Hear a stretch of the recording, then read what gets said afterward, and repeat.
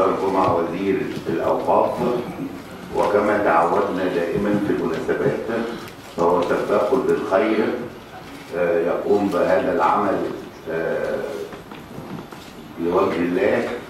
والنهاردة و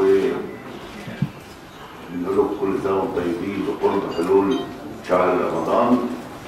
فاليوم بنوقع بروتوكول ما بين وزارة التموين ووزارة الأوقاف لتوفير كافة الكميات المطلوبة من وزارة الأوقاف وحضراتكم عارفين بيتم توزيعها بمنتهى الشفافية ومنتهى الوضوح آه، بالتعاون مع وزارة التموين ومن خلال آه، التواجد لوزارة الأوقاف في كافة المحافظات وبمعرفه الأسر الأكثر احتياجا وبالتالي بتبقى بادرة خير في شهر الخير وهو شهر رمضان.